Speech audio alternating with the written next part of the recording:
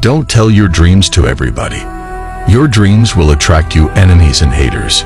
Work in silence and let God do what he wants to do in your life. And let him surprise your enemies.